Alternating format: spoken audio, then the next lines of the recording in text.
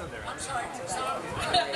was going to say, Stephanie lives here in Cincinnati. All right. Oh, okay. Oh. This is a good sing-along. yeah, sing-along.